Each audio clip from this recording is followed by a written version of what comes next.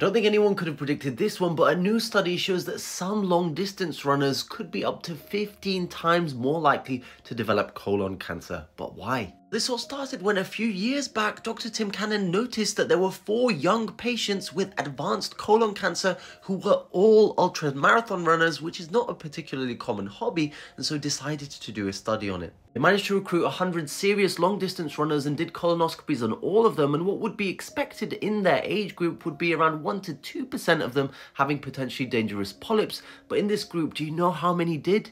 Around 15%.